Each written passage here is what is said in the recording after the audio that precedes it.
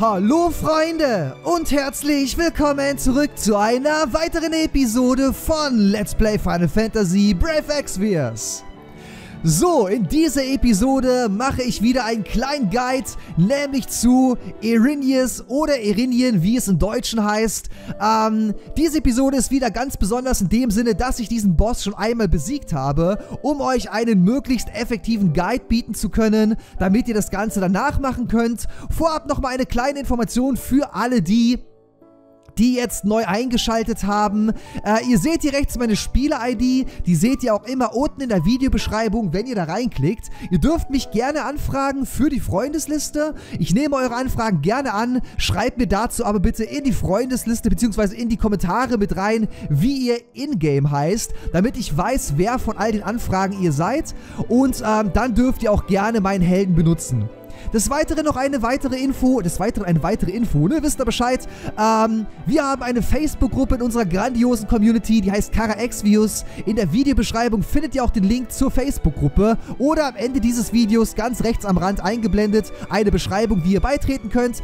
Klickt einfach unten in die Videobeschreibung, klickt auf den Link für die Facebook-Gruppe Kara Xvius. Ich persönlich nehme eure Anfragen gerne an und dann könnt ihr euch auch gegenseitig in der Freundesliste aufnehmen und gegenseitig absprechen. Okay?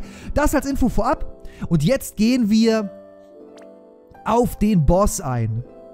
Dieser Boss Irinien ist sehr speziell in dem Sinne, dass er bei König Mowgli zu finden ist. Wo genau, werde ich euch gleich zeigen. Ich möchte ganz kurz die Theorie mit euch abhandeln und dann machen wir den Kampf gemeinsam. Dabei werde ich euch alles zeigen, denn ich habe mir extra ein bisschen Zeit gelassen bei dem Kampf, so dass ihr diesen Boss auch wirklich versteht. Ja, ich werde den Boss nicht one-shotten, sondern ich werde ihn ganz langsam besiegen, jede Threshold genau erklären, jede Grenze genau erklären, damit ihr auch genau versteht, wann der Boss was macht, okay? So, ähm, grundsätzlich ist das so, wenn ihr den Boss bei König Mogul besiegt habt, so wie mit dem Weißdrache, dann erscheint der Boss in der Kammer der Gefallenen wenn ihr dann hier runter scrollt, ganz nach unten, Kammer der Auferstandenen und dann ist er hier. So wie die Dämonenchimäre, wie der Weißdrache und ich glaube, da gibt es noch irgendjemanden, den ich noch nicht besiegt habe. Äh, die tauchen dann alle hier nach und nach auf, ja. Rückkehr der Erinien taucht halt eben auch hier auf, wenn ihr den Kampf geschafft habt. Ähm, wenn ihr also das zweite Mal gegen Erinien kämpft, müsst ihr gewinnen, kriegt 40 Lapis, dürft maximal vier Leute mitnehmen, kriegt 20 Lapis, müsst ein Esper rufen, kriegt 20 Lapis und müsst innerhalb von 10 Runden gewinnen, kriegt auch 20 Lapis. Zombies. Das werde ich jetzt nicht tun. Ich werde euch meinen ersten Kampf gegen Irinien zeigen und dann dürft ihr natürlich die Strategie gerne weiterhin anwenden und ähm, oder euer Team so gestalten, dass ihr den Gegner eben innerhalb von, vier, äh, äh, von zehn Runden besiegt, ein Esper ruft, beziehungsweise ähm, das Ganze mit nur vier Leuten schafft, okay? Meine Strategie könnt ihr auf jeden Fall problemlos dafür auch anwenden. Aber ähm, ich zeige euch, wie ihr das schafft wie ihr das auf jeden Fall erst einmal zu 100% sicher schafft. So, ähm, grundsätzlich solltet ihr wissen, der Boss ist ein Dämon, das heißt, Dämonenkiller ist sehr effektiv, also nehmt für euren Main Damage Dealer, wenn er physisch ist, Diabolos mit, ansonsten irgendetwas, was eben viel Schaden macht gegen Dämonen. Ähm, der Boss hat 2 Millionen Lebenspunkte, das ist gar nicht so viel, ja, das geht eigentlich relativ schnell. Aber ihr seht es hier, er hat 400 Verteidigung, was saumäßig viel ist. Und 150 Psyche, was auch noch ziemlich viel ist. Ähm, dazu solltet ihr wissen, dass ihr bei dem Gegner nichts brechen könnt, außer die Psyche. Das, äh, die Tatsache, dass der Gegner nur 150 Psyche hat und ihr die Psyche auch noch brechen könnt, zeigt uns, dass der Gegner auf jeden Fall sehr anfällig ist für magische Angriffe, okay? Äh, bringt hohe Psychebrecher mit. Wer sich in letzter Zeit dafür sehr anbietet, sind zum Beispiel der Krieger des Lichts, Dash, 9S oder, wenn ihr ihn erweckt habt, Delita. Ja, das sind Charaktere, die sich sehr gut anbieten für diesen Kampf. Ähm, um hier beispielsweise die Psyche zu brechen. Es gibt noch ein paar andere, aber ich wollte euch einfach mal diese Charaktere nennen, okay? Ähm, dann habt ihr die Psyche des Gegners gebrochen, okay. So, äh, es ist aber keine Pflicht. Ihr macht doch so ganz ordentlichen Schaden. Psyche brechen macht es schneller, macht es einfacher. Ähm, Als nächstes, wer ist euer Main Damage Dealer? Womit solltet ihr hauptsächlich Schaden machen? Am besten ein Magier, am besten Magier, die äh, Feuer- und Blitzschaden zufügen. Und hier sind eure besten Freunde Victoria für Feuer-Damage und Ash für Blitzdamage. Warum ausgerechnet die beiden? Sie beherrschen Blitz K. Das ist der stärkste, beziehungsweise Feu K. Das sind die stärksten entsprechenden Elementzauber, äh, die auch noch hochstacken und dementsprechend immer mehr Schaden machen. Also Ash für Blitz K und ähm, Victoria für Feu K. Ihr solltet, äh, was das Ganze für euch auch einfacher macht, dazu in der Lage sein, die elementaren Resistenzen des Gegners zu reduzieren. Ja, das macht auch Sinn. Also wenn ihr beispielsweise, wenn jetzt beispielsweise der Gegner um äh, 100% anfällig ist für Blitzdamage und ihr reduziert nochmal 50% Blitzdamage, dann ist der Gegner 150% anfällig. Okay, also ihr könnt diese elementare Resistenz noch weiter reduzieren. Wer bietet sich dafür an? Ich habe ja vorhin gesagt, 9S äh, bietet sich an, um den Gegner zu brechen, die Psyche zu brechen. Außerdem kann 9S die Blitzresistenz äh, oder auch Feuerresistenz beide um 50% reduzieren. Also ist 9S euer bester Freund, wenn ihr Victoria oder Ash benutzt. Oder äh, ihr nehmt beispielsweise... Ähm, Ihr nehmt beispielsweise ähm, Dash mit. Ja, Dash kann auch die Blitzresistenz um 50% reduzieren. Also macht Dash auch hier Sinn. Ja äh, weil er eben Psyche brechen kann und Blitzresistenz reduzieren kann, wenn ihr beispielsweise Ash benutzt. Ähm, oder Ace ist dazu in der Lage, die Blitz- und die Feuerresistenz beide um 75% zu reduzieren und dient außerdem als Mana-Batterie. Das bedeutet, ähm, ihr könnt Ace ja auch mitnehmen. Zusätzlich ist Ace mit Diablos ausgerüstet. Ich zeige euch das mal ganz kurz mit Diabolos, ja. Das bedeutet, ähm, wenn ihr mit Ace wenn ihr mit Ace Joker aktiviert, macht er auch noch extrem großen Schaden, ja? Wie sich Ace hier in diesem Kampf verhält, werde ich euch gleich in dem Video zeigen, okay? Ihr seht dann eh gleich nochmal ein Gameplay-Video. So, so viel dazu. Ähm, des Weiteren solltet ihr darauf achten, dass ihr einen guten Tank habt, der am besten immun ist gegen viele Statusveränderungen. Und ähm, was sich hier ganz besonders anbietet, ist ein Provoke-Tank und ein Cover-Tank. Also ihr könnt zwei Tanks mitnehmen, so wie ich das gemacht habe. Als Provoke-Tank habe ich Wilhelm und als Cover-Tank habe ich Ramsa mit dabei. Warum ich das gemacht habe, zeige ich euch gleich in dem Video. Aber ähm, grundsätzlich bieten sich hier als Tanks an Wilhelm, Snow als Provoke-Tanks. Ähm, zusätzlich zu den Provoke-Tanks würde ich euch raten, Cover-Tanks mitzunehmen, wie zum Beispiel Söldner Ramsa ähm, oder ähm, äh, Cecil, da ist mir gerade der Name nicht eingefallen. Cecil bietet sich auch an. Ja, Cecil ist auch eine gute Variante. Ähm, weil er eben auch noch heilen kann. Des Weiteren bieten sich Tanks an, wie zum Beispiel der Krieger des Lichts. Charlotte bietet sich auch sehr gut an, wenn ihr sie erweckt habt. Auch wenn ihr sie nicht erweckt habt, ist sie ein guter Tank. Aber weil sie ja jetzt erweckbar ist und auf 6 Sterne verbesserbar ist, bietet sie sich auch sehr gut an. Oder Veritas der Erde. Ähm, Veritas der Erde ist auch ein sehr guter Provoke-Tank. Also das sind alles Tanks, die ihr mitnehmen könnt, die sehr, sehr gut sind. Wie gesagt, wenn ihr reine Provoke-Tanks habt, wie ähm, Snow und den äh, und Wilhelm, dann solltet ihr einen Cover-Tank mitnehmen unter Umständen. Warum, werdet ihr dann gleich im Video sehen. Und ähm, wenn ihr aber ähm, Cover-Tanks mitnehmt, also AOE-Cover-Tanks, Flächen-Cover-Tanks, wie zum Beispiel Krieger des Lichts, wie, ähm, wie Veritas der Erde oder wie Charlotte oder Charlotte, ähm, dann braucht ihr nicht unbedingt einen weiteren Cover-Tank mitnehmen. Aber ähm, ja, das sind auf jeden Fall Möglichkeiten, die ihr nehmen könnt, okay? Äh, ihr solltet einen Heiler mitnehmen. Am besten ein Heiler, der immun ist gegen diese Statusveränderungen hier. Ähm, der Gegner benutzt Gift. Also der Gegner benutzt alle Statusveränderungen. Kann ich euch gleich mal zeigen hier, dass ihr es seht. Der Gegner benutzt Gift, er benutzt Blind, er benutzt Schlaf, er benutzt Stumm, er benutzt Paralyse, er benutzt Verwirrung, er benutzt ähm, äh, äh, äh Virus und er benutzt Stein. Außerdem benutzt der Gegner ähm, verführen und der Gegner benutzt Stopp. Okay, er hat bestimmte Bedingungen, wann er diese, äh, diese Statusveränderung benutzt. Und ich werde euch erklären, wann er diese Statusveränderung benutzt, wofür, die, äh, also unter, unter welchen Bedingungen er diese Statusveränderung benutzt. Okay, da gibt es nämlich bestimmte Bedingungen, wann er Verführen macht und wann er Stopp macht.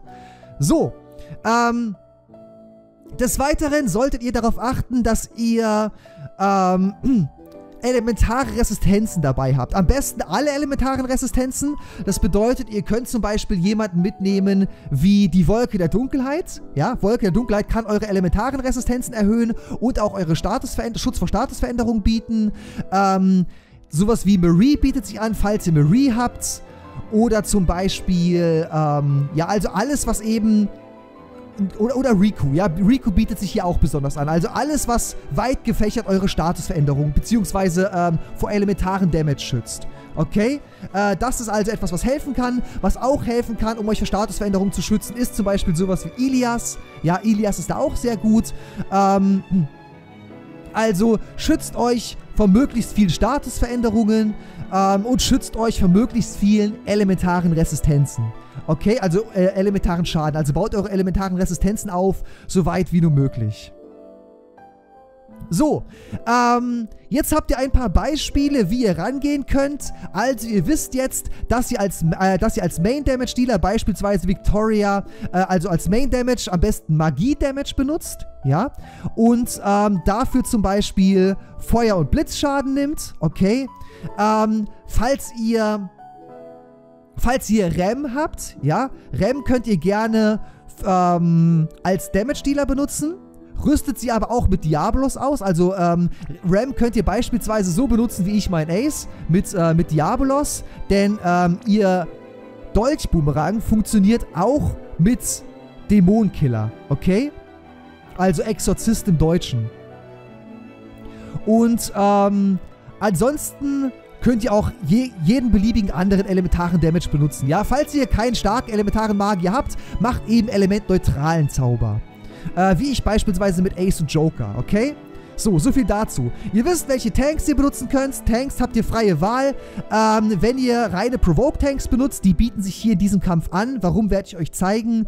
Äh, dann wären Snow und Wilhelm eure Varianten. Dazu am besten noch ein Cover-Tank, äh, wie zum Beispiel Cecil oder Ramsa.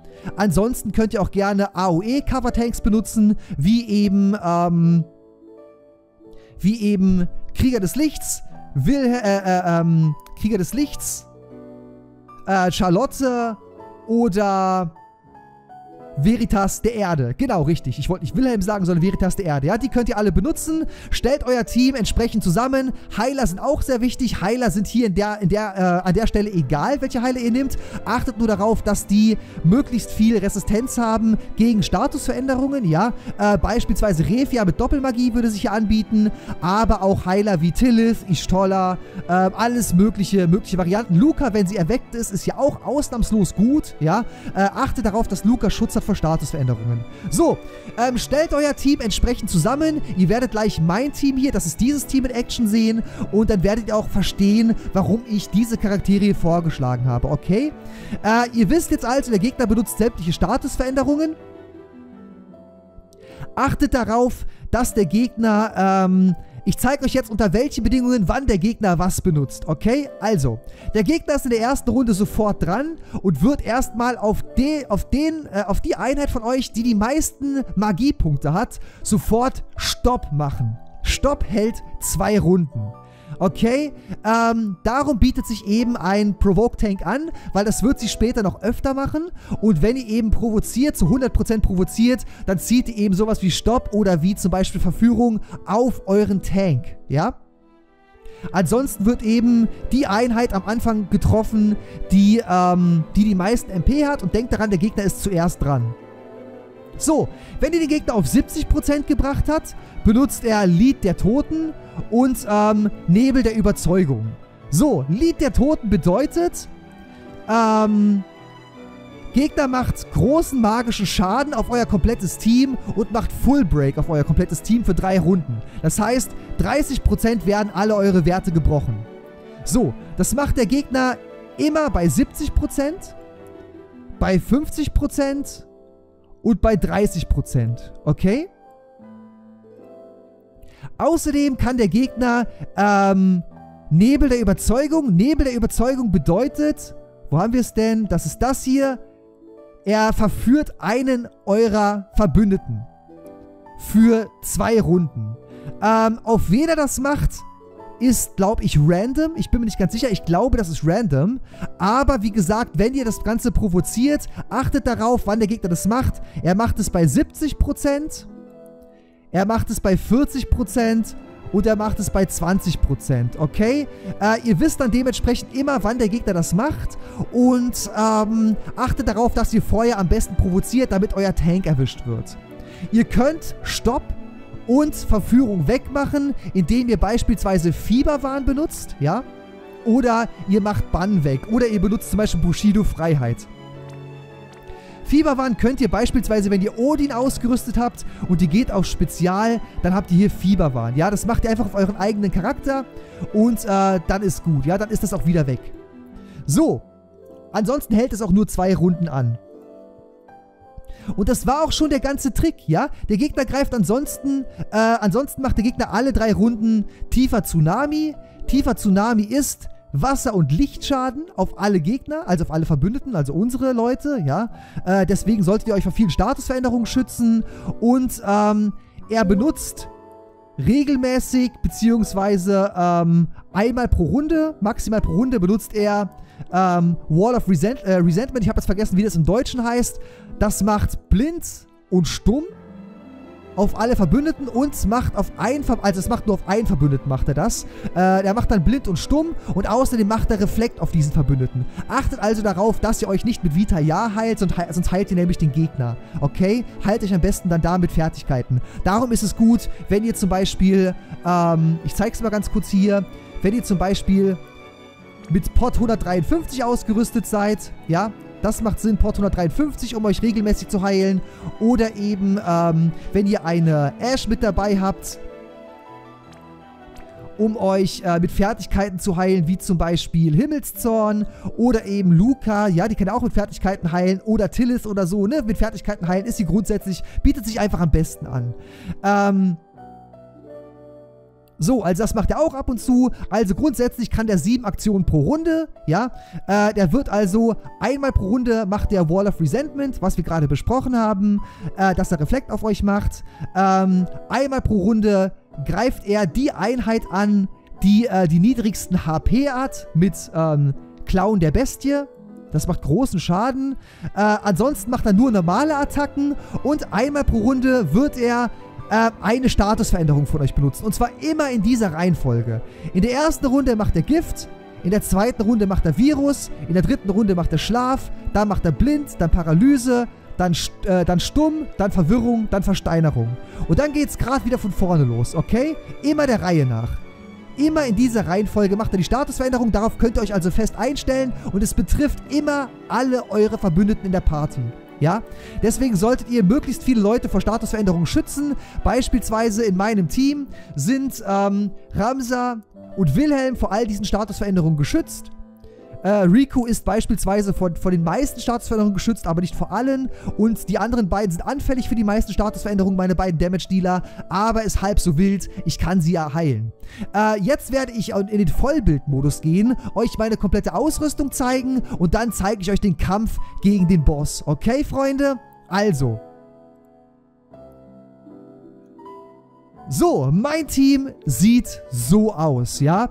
Ähm, wir gehen auf Einheiten, dann zeige ich es euch ganz kurz. Ich habe mein Team nicht sonderlich vorbereitet. Es ist im ganz normalen Standardmodus, so wie ich auch meine Story spiele. Ähm, deswegen zeige ich euch zuerst einmal Ash. So sind ihre Resistenzen. Dasselbe gilt für Ace. Dann haben wir hier Riku. Dann haben wir Ramsa. Dann haben wir ähm, Wilhelm. Falls euch das Ganze zu schnell geht, pausiert das Ganze einfach, ja. Äh, und dann könnt ihr euch in Ruhe alles durchlesen. Ich gehe auf Ausrüstung. Hier seht ihr die Ausrüstung von, ähm, von Ash. Dann seht ihr die Ausrüstung von Ace. Dann seht ihr die Ausrüstung von Riku. Ähm, Söldner Ramsa. Und hier haben wir Wilhelm. So, äh, dann zeige ich euch noch die Fertigkeiten. Das sind die Fertigkeiten für Ash. Das Ganze ist kein Hexenwerk. Dann seht ihr die Ausrüstung für Ace. Der ist schon Top-Tier ausgerüstet. Aber ähm, Ace stelle ich euch ja auch zur Verfügung als Verbündeten, den ihr gerne einsetzen könnt, um Damage zu machen, falls euch ein Damage-Dealer fehlt. Hier haben wir Riku. Nichts großartig Besonderes mit dabei. Äh, dann haben wir hier Ramsa. Ich habe sogar einen Slot freigelassen, also er ist noch nicht mal Top-Tier ausgerüstet. Ja, Ramsa ist übrigens hier mein Heiler im Team, dass ihr das wisst. Ja, Ramsa ist mein Cover-Tank und Heiler gleichermaßen. Er wird eben Rikus Beutel benutzen, er wird Port 153 benutzen und und außerdem, ähm, wird er unter Umständen sowas machen wie Wiederbeleben oder so, ne? Äh, und eben, ja, was er halt sonst noch so drauf hat, ne? Das sind so ein paar Kleinigkeiten. Als erst mein Heiler hier, hauptsächlich. Äh, der Status, der ist, der ist ja vor allen Statusveränderungen geschützt, ne? Seht ihr hier. Und ist eben zum Heilen da. So, dann haben wir unseren Provoke-Tank, nämlich Wilhelm. Den habe ich letztens erst ganz frisch bekommen. Bin ich ganz stolz drauf. Ähm, hätte ich Wilhelm nicht, hätte ich Snow mitgenommen, dass ihr da schon mal Bescheid wisst. Oder wahrscheinlich sogar eher den Krieger des Lichts. Äh, der kann ja auch provoken. Da ihr ja wisst, wann der Gegner welche Aktion benutzt, könnt ihr auch auf Kommando provoken, ja. Ähm, Wilhelm, also Krieger des Lichts, Provoke ist ja bloß eine Runde. Aber ähm, ihr wisst ja, wann, ab welcher Lebenspunktegrenze der Gegner was benutzt. Und dann könnt ihr es entsprechend immer umsetzen, okay? So, äh, das sind seine Fertigkeiten, die er hat. Okay, ähm, meine, äh, meine Strategie werde ich euch jetzt im Laufe des, des, äh, des Kampfes erklären. Deswegen würde ich sagen, wir verlieren keine Zeit mehr und springen direkt rein in den Kampf. Also Freunde, bis gleich.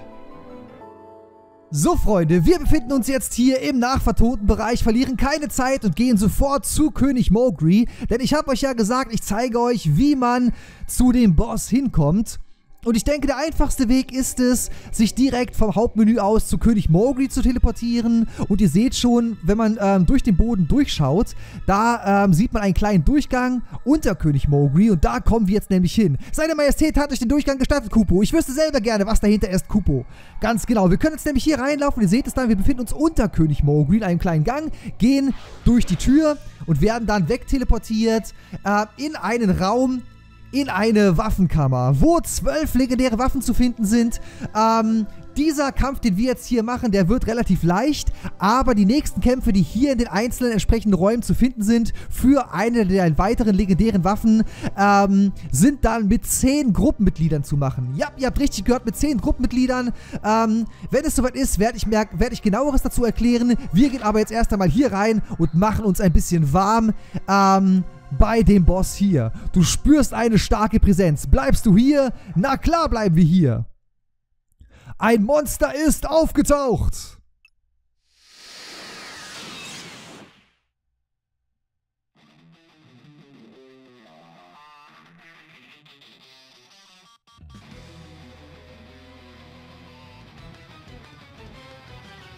So, es ist Erinien, wie angekündigt, fängt der Feind immer zuerst an und ähm, stoppt einen eurer Charaktere. In dem Fall hat er Wilhelm gestoppt, weil Wilhelm äh, provozieren hat. 50%. Ansonsten würde der Charakter gestoppt werden mit dem höchsten Mana-Wert. Das wäre hier Ramsa gewesen. Wir haben das Glück, dass es nicht Ramsa ist. Deswegen können wir mit Ramsa auch gleich Aktionen machen. Ich habe erst überlegt, ob wir Eccentric machen sollen. Äh, letztendlich habe ich mich dafür entschieden, unsere physische Resistenz zu erhöhen, erhöhen um 40%. Äh, für den Anfang, weil ich ja ich will möglichst durchhalten. Ich will die Gegner nicht sofort killen, sondern ich möchte, ähm, dass ihr ein bisschen was von dem Gegner seht. Mit Befreiungsblitz brechen wir seine Psyche. Mit, ähm, Triple Jackpot greifen wir schon einmal magisch an und außerdem reduzieren wir seine Blitzresistenz. Damit wir dann später ein bisschen mehr Schaden machen mit Ashs Blitz K. Ich habe nämlich gedacht, ich zeige euch am Anfang einfach mal die Blitz K-Strategie, okay?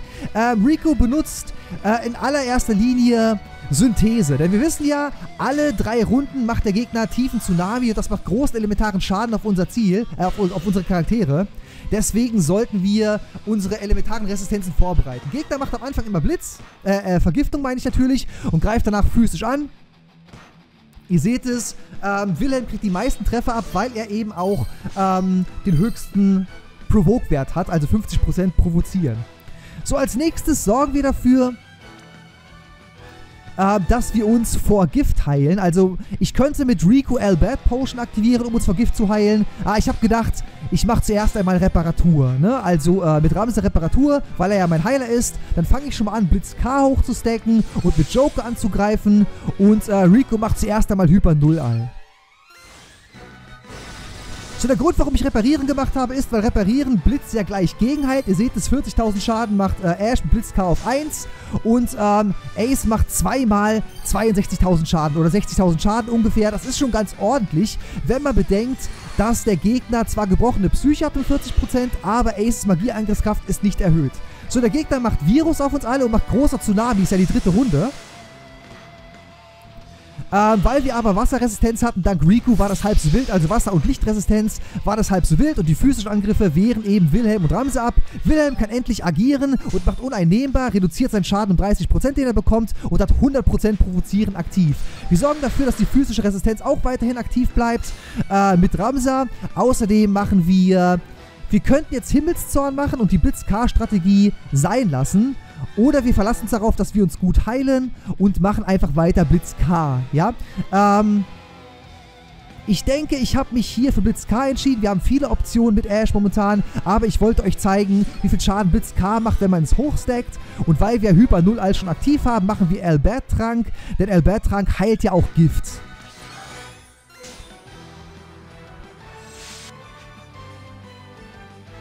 So, dann machen wir Blitz K und Joker. Und ihr wisst ja, Ace macht zweimal 60.000 Schaden. Das heißt, ihr könnt euch auf Ace verlassen. Und Blitz K ist momentan auch schon an diesen Schaden rangekommen. Alle beruhigen bedeutet, alle Charaktere schlafen ein. Zumindest alle, die anfällig sind für Schlaf. Also außer Ace, Söldner Ramsa und Wilhelm sind äh, Ash und Riku an, ähm, anfällig dafür. Wir wissen ja auch, die erste Grenze ist bei 70% Lebenspunkte erreicht. Denkt daran, wenn ihr den Gegner unter, ähm, unter, oder wenn ihr den Gegner Lebenspunkte abzieht, dass ihr äh, nicht unter Einfluss von schlechten Statusveränderungen seid, sondern, ähm, Achtet darauf, wie viel Schaden ihr macht. 70% ist der erste Wert. Dann wird der Gegner uns um 30% brechen und wird einen unserer Charaktere verwirren. Beziehungsweise verführen, meine ich. Entschuldigung, verführen. So, wir haben volle Lebenspunkte. Wir machen weiter. Blitz K.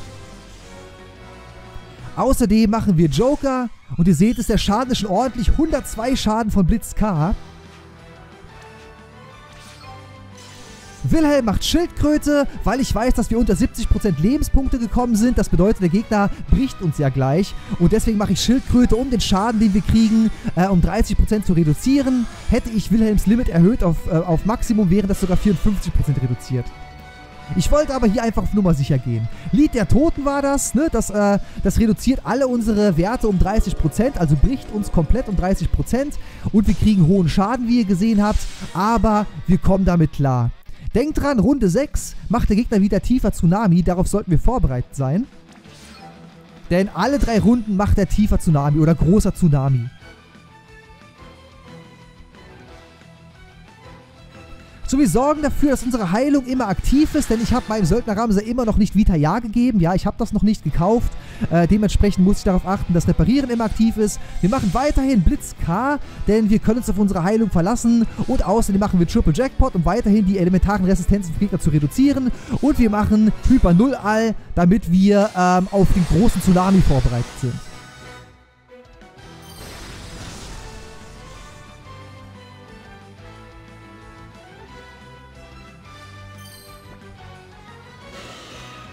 So, Gegner betäubt alle. Das bedeutet, die werden, glaube ich, ähm, ja, gelähmt, richtig. Und er hat, wie angekündigt, weil wir ihn ähm, unter 70% gebracht haben, Wilhelm verführt. So, wir haben jetzt verschiedene Optionen, die wir machen können. Äh, ich zeige euch hier, wie man Wilhelm vor Verführung befreit. Wir wählen Fieberwahn aus nicht Klingenblitz, Fieberwahn und aktivieren das dann auf Wilhelm, ja? Indem ihr einfach auf Wilhelm gedrückt haltet, wählt ihn aus mit Ziel bestimmen und dann macht ihr Fieberwahn auf Wilhelm, dann ist er auch wieder frei ähm, von, ähm, von Verführung und dann machen wir einfach Panacea auf alle oder Panacea auf alle und damit sind unsere Charaktere wieder frei. Ja, mit Ace können wir hier, ähm, ich habe mich jetzt hier dazu entschieden, nicht mehr mit der Blitz-K-Strategie weiterzumachen, sondern mich auf Aces Damage hauptsächlich zu verlassen. Deswegen werden wir halt einfach mit Ace Joker machen, beziehungsweise sein Limit, wann immer möglich. Und äh, Ash benutzen wir einfach jetzt, um Himmelszorn zu machen, um damit weiterhin zu heilen. Denkt dran, jede vierte Runde benutzt der Gegner, ähm, benutzt der Gegner eine Fähigkeit, wenn wir, ich glaube, wenn wir unter 50% gebracht haben, benutzt er eine Fähigkeit, äh, die eben einen unserer Charaktere Reflekt gibt. Darauf solltet ihr achten. Aber die nächste Grenze, die ansteht, ist erstmal die 50%-Grenze. Die 50%-Grenze ist ziemlich hart. Ja, deswegen sorgen wir dafür, dass wir nicht unter Einfluss von schlimmen Statusveränderungen sind. Stumm ist mir egal. Stumm ist, äh, kann man vernachlässigen.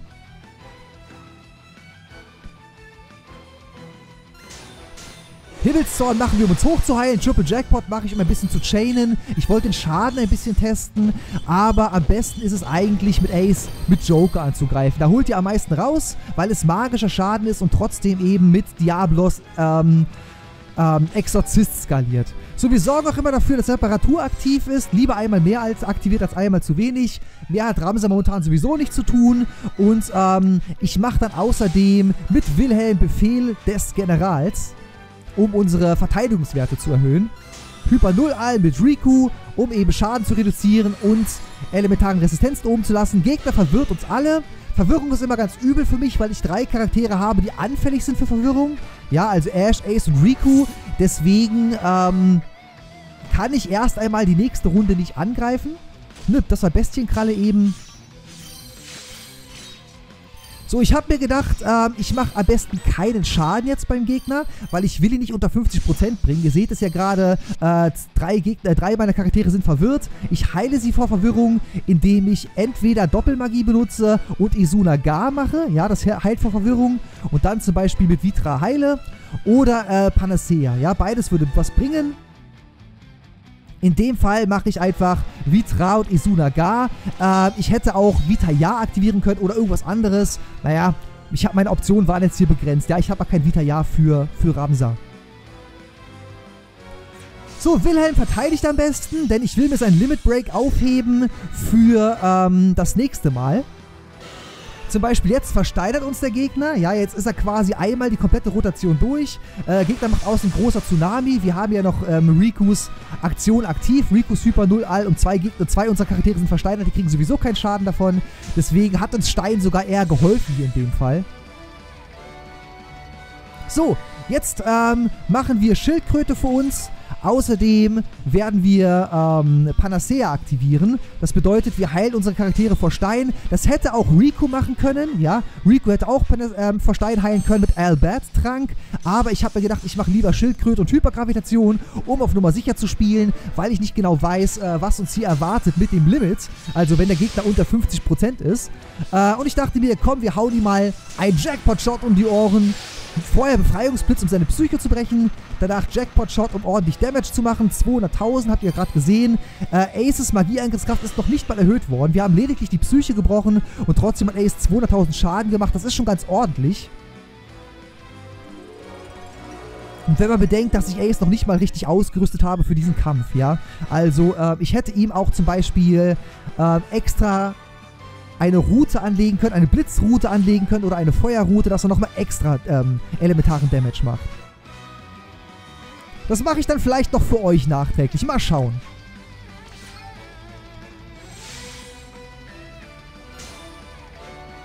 Also, wenn ihr gerne gegen Irinien kämpfen möchtet und ihr möchtet, dass ich Ace speziell ausrüste, schreibt es ruhig in die Kommentare mit rein. Aber das ist mein Standard-Setup für Ace und äh, mein Standard-Setup für Ace reicht auch hier problemlos aus, ne?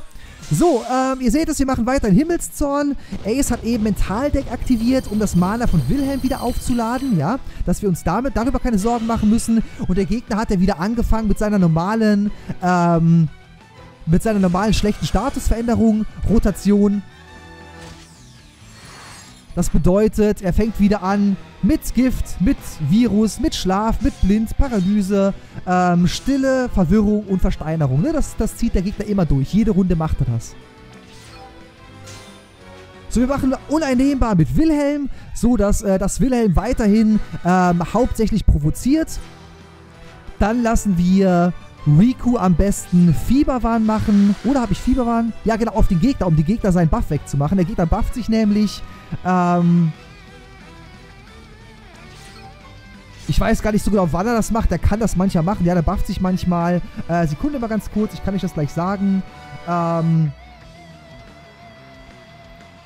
Evil Spirits All Around. Also jede vierte Runde, wenn er unter 50% Lebenspunkte ist, ja, dann macht er das, ähm, dass, er seine, dass er seine eigenen Statuswerte alle um 20% erhöht und das macht er dann einfach jede vierte Runde, ja, sobald er einmal ähm, unter 50% Lebenspunkte ist. So, bedenkt, dass immer wenn der Gegner ähm, bei 70% ist, bei 40% und bei 20%, dass er dann ein eurer Charaktere verführt. Ja, das heißt, wir haben den Gegner jetzt unter 40% gebracht, also wird er ähm, einen unserer Charaktere verführen, ne, mit Nebel der Überzeugung, da ist es gerade. Und ich habe ja mit Wilhelm ähm, Provozieren Feuer aktiviert. Das bedeutet, er macht, ähm, der Gegner, Irinien, macht Nebel der Verführung auf Wilhelm. So, weil ich mit Riku kein Hyper Null aktiv hatte, hat gerade die Aktion von Irinien großen Schaden zugefügt auf unser Team. Wir haben alle das ganz gut überstanden. Ich hatte jetzt mehrere Optionen, zum Beispiel Engel auf Ash zu machen und äh, oder eben zuerst Riku für Statusveränderung zu heilen und danach Mega Phoenix zu machen zum Beispiel, ja, und damit Ash auf volle Lebenspunkte zu bringen. Äh, ich habe mich dafür entschieden, ähm, Ash einfach mit Engel zu heilen, so und dann Isuna gar zu machen, damit Ash wieder lebt und Riku befreit ist. Im Nachhinein habe ich mir gedacht, ja, ich hätte auch einfach äh, Isuna gar machen können oder so, um Riku zu befreien und Vitra oder sowas in der Richtung. Und danach äh, Mega Phoenix, um, äh, um Ash wiederzubeleben. Ja, dann hätte sie volle Lebenspunkte gehabt. Beides möglich. So habe ich halt Synthese mit Riku aktiviert. Ähm, Repar reparieren ist ja noch aktiv und wir machen MP Heilung mit Ace, weil wir sonst nichts Besseres zu tun haben. Ich wollte ihn auch nicht unter 30% Lebenspunkte bringen, ja. Das war mir zu riskant. Deswegen habe ich kein Limit aktiviert, weil dann ist nämlich schon die nächste Grenze erreicht.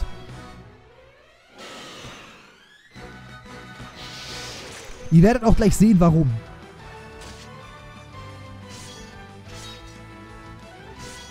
So, also, Wilhelm ist immer noch verführt. Das ist mir in dem Fall egal. Ich hätte ihn befreien können, aber ich wollte es nicht unbedingt tun. Wir sorgen einfach dafür, dass Reparieren aktiv bleibt. Riku macht Hyper 0 all, anstatt Wilhelm zu befreien. Ähm, der hat ja sowieso noch Provozieren aktiv, deswegen ist es egal. Mehr als Provozieren soll er ja eh nicht machen. Wir machen Himmelszorn, um uns hochzuheilen und Damage zu machen. Gleichzeitig hauen wir ihm äh, Jackpot-Shot in die Ohren, denn ich will den Gegner unter 30% bringen, weil unter 30% macht der Gegner nämlich wieder Lied der Toten. Das bedeutet, er bricht unsere Werte um 30%. Allerdings hatte ich nicht gemerkt, dass der Gegner sich gebufft hat. Ihr habt es gerade gesehen. Äh, jede vierte Runde macht, sorgt er ja dafür, dass er ähm, alle seine Werte um 20% erhöht. Und ähm,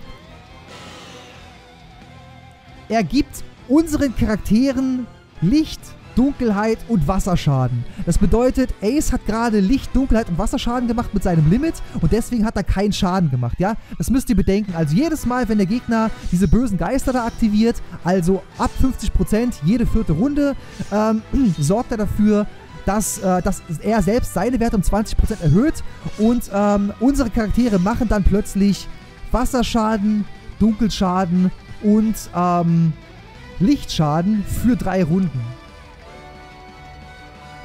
Wir könnten das natürlich wegmachen von uns oder wir warten einfach drei Runden ab, bis es nachgelassen hat. Ja, das ist auch eine Option. Äh, ich habe, glaube ich, einfach abgewartet hier in dem Fall. Wir könnten aber auch auf uns zum Beispiel Bushido Freiheit aktivieren, um äh, das wegzumachen von uns. Ja, das wäre auch eine Möglichkeit.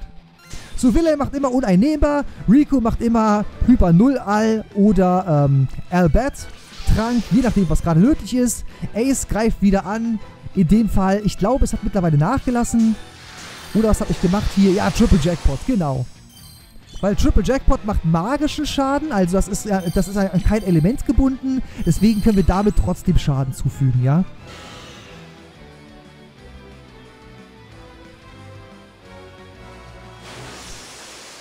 Denn wenn sie, uns mit, wenn sie unsere Attacken mit einem Element versetzt, betrifft das nur Aces Limit und Joker, aber es betrifft nicht Aces Triple Jackpot oder andere magische Angriffe.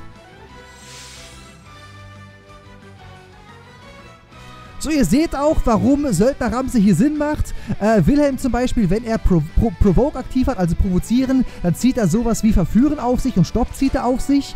Ähm, aber die physischen Angriffe, die starken physischen Angriffe wehrt Söldner Ramse ab. Und weil Söldner Ramse über 500 Abwehr hat und gleichzeitig äh, auch noch 50% Schadensreduzierung hat, wenn er sich vor Wilhelm stellt, kriegt er praktisch keinen Schaden, ja, durch die physischen Angriffe. Äh, er kriegt weniger Schaden, als Wilhelm kriegen würde. So, da das Element wieder weg ist, macht Joker auch wieder Schaden. Ja, deswegen haben wir hier Joker wieder draufgehauen. Zweimal 80.000 habt ihr gerade gesehen, weil ich ja auch die Magieangriffskraft von Ace erhöht habe. Äh, dementsprechend hat das ordentlich reingehauen.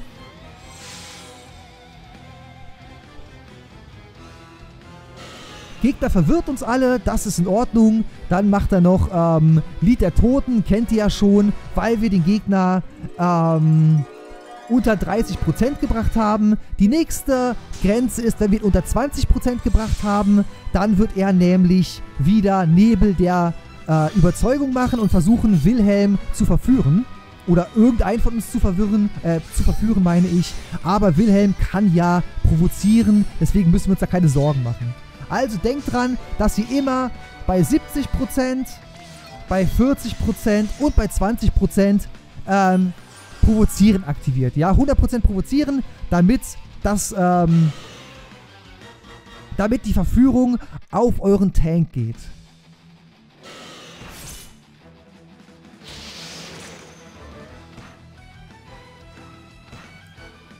So, zwei Leute sind versteinert.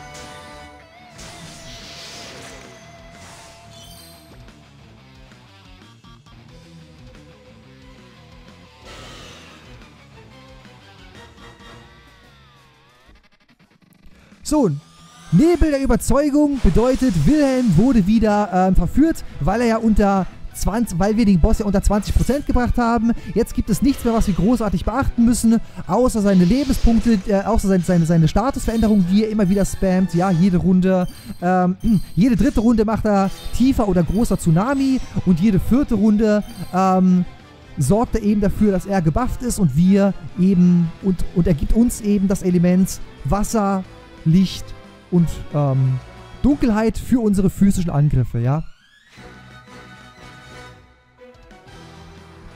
Also kein Problem, ist nur noch eine Frage der Form, eine Formsache, wie wir den Gegner besiegen, aber nicht übermütig werden. Wir sorgen trotzdem dafür, dass immer Hyper 0 aktiv ist, dass immer Heilung aktiv ist. Ja, das ist alles, worauf ihr achten müsst.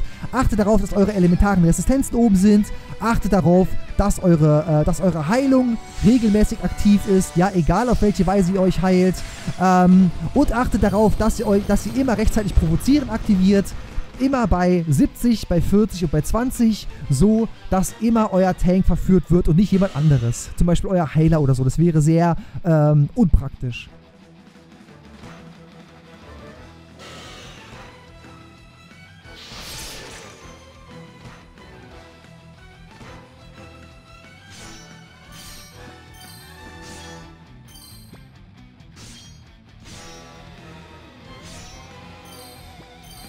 So, zum Abschluss habe ich mir gedacht, wir machen, erlauben uns einen kleinen Spaß und ich mache einfach mal Rubinglanz. Ja, das ist eine kleine Combo, die ihr machen könnt gegen die Gegner. Ihr ruft also Rubinglanz und macht Reflekt auf alle eure Charaktere.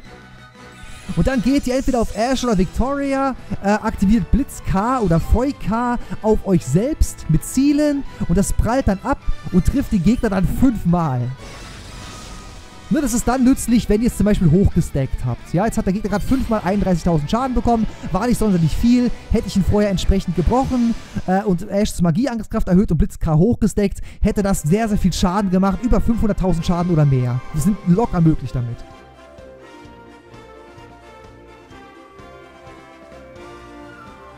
So, wir haben den Gegner besiegt, kriegen dafür äh, ein bisschen Kohle, ordentliche Erfahrungspunkte für unsere Einheiten, leider keine Erfahrungspunkte für unseren Account.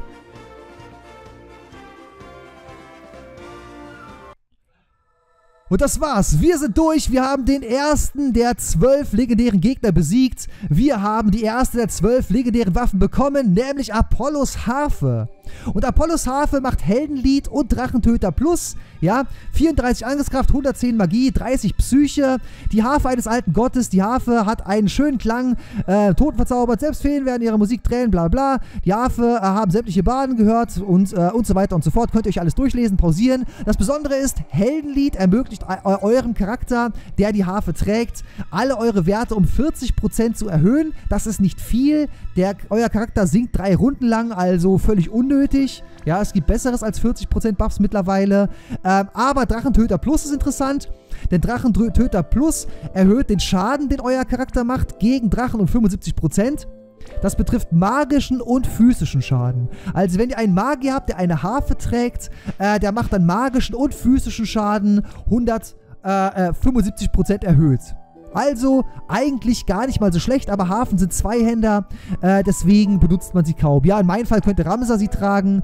Ähm, ist aber nicht unbedingt notwendig. Ich werde hier an der Stelle die Episode beenden, Freunde. Lasst meinen Daumen nach oben da, wenn sie euch gefallen hat. Wenn nicht, schreibt mir konstruktive Kritik, dann mache ich alles besser. Ansonsten danke ich vielmehr herzlich fürs Zuschauen, wünsche euch noch ganz, ganz, ganz viel Spaß bei allem, was ihr macht. Und ich hoffe, ich darf euch wieder begrüßen bei der nächsten Episode von Let's Play Final Fantasy Breath X Videos. Vielen Dank und hoffentlich bis dann. Tschüss.